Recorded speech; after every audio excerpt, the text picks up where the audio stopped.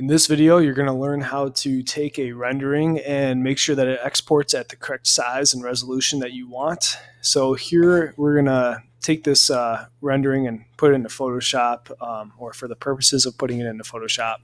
So I've already gone through and done a 3D render of one of my 3D views. So in the 3D view, uh, just clicked into it, went up to the View tab, and clicked on Render. From there, I clicked the Save to Project button when it was done rendering, and I did it at a high quality.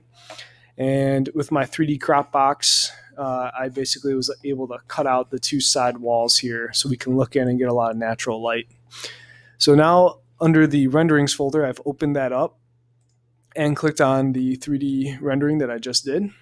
Here, what we really want to pay attention to as far as uh, size here on the scale um, so 12 inches equals a foot. It's going to give us basically a, uh, a true to size uh, image. And then what we're going to go here, so it's kind of like a one to one scale. Then what we're going to do is uh, basically take this image and as we export it, so file, export, images and animations, image.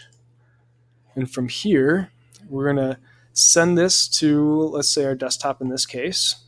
The current window is what I want. If I wanted to crop that, I could as well. Um, and then from here, instead of fit to 512 pixels, we can go to zoom to 100% of the actual size. And that will use some of the settings we had when we rendered this, uh, this image. And I chose like my screen as that uh, size. And then we're going to basically send it to a JPEG. If we want it to be the biggest file size, we'd say lossless. I'm going to choose medium in this case. Um, but if you had still image qualities, you can choose lossless. Um, non-shaded views, same same options. And now here's the big one. I think by default Revit does 72 uh, DPI, which is very pixelated. We're going to change that to 600 DPI and just say OK. So now as this exports, when I open it up uh, from my desktop, you'll see that this one here is going to be uh, pretty good, pretty good image. Um, so we go and click in. It's basically like what we were just seeing in Revit. Now I'm going to mess around with some settings so you can see some of the other issues that could occur. So let's say you had an issue where this thing was coming in really small. I'm going to change this to quarter inch equals a foot right here. I'm going to go through the same steps. So file, export, images, image, and let's just say okay to everything right here. But let's name this example basement 2. Say okay. When we open up example basement 2, comes in by default very small. So if we brought this into Photoshop and control T'd it to transform it and make it a little bit larger and scale it up, we'd lose uh, some of the image quality right there. Um, so that's important to understand the relationship between the scale in Revit down here and the image that actually gets exported. So I'm going to change that back to 12 inches equals a foot. Now let's mess around with one more setting. So I'm going to go to File, Export, Images, Image. And if we change the, uh, the raster quality image to 72 um, and say zoom to 100%, let's see what that does. Well, let's rename it.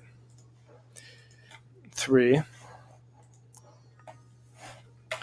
Diving out and to check out number three, um, it's it's going to shrink it up quite a bit. Um, so that also influences the size. So as we go to make that larger, right, it's going to look more pixelated. From afar, it doesn't look too bad, but we have a lot less opportunity to move it a little bit bigger.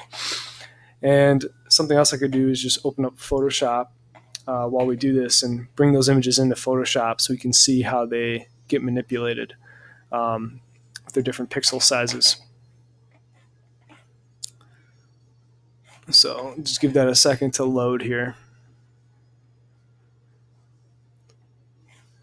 File new. We're going to just do a uh, 24 by 18. And let's just go. Printer typically print at like 300, so I think I'm okay with 400 there. I'm going to say okay. All right, so now that that's in, file, place embedded. And we're going to choose from the desktop the images that we had. So example one, two, and three. So let's bring them in one at a time. Place this guy in. hit enter on it. Let's go to File, uh, Place Embedded. Choose the next one. Two. Really small. And then let's go to File, Place Embedded, and we'll choose the third one. And the third one actually comes in around the same size as the first one on uh, Photoshop. So let's just blow up the second one first. Control T.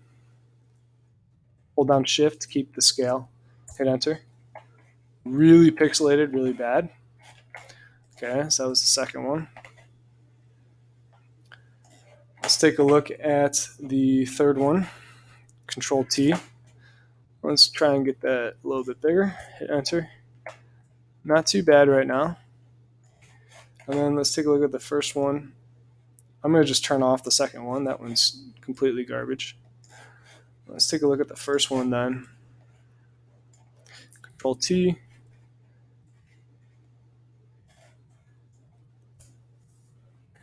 And you can even see that the quality right now, just when these are these two, this one's even a little bit bigger than the uh, third one. Um, that's where our DPI is coming into play. This one was at 72 DPI. This one's at 600. This one stays crisp and clear, even as it's larger. Then this one here is suffering quite a bit. Um, so that's that's a pretty good indication as to uh, some common problems that happen in Revit as you export your renderings. So there you have it the uh, scale and the DPI matter a lot as you export the image. Uh, the good news is if you have your renderings, you don't really have to redo them. It's really an export setting that uh, greatly influences that, that image quality as you bring it into Photoshop. All right, that's all. Don't forget to save and subscribe. Also, don't forget to like these videos if you want to help me grow my channel. Thanks a lot.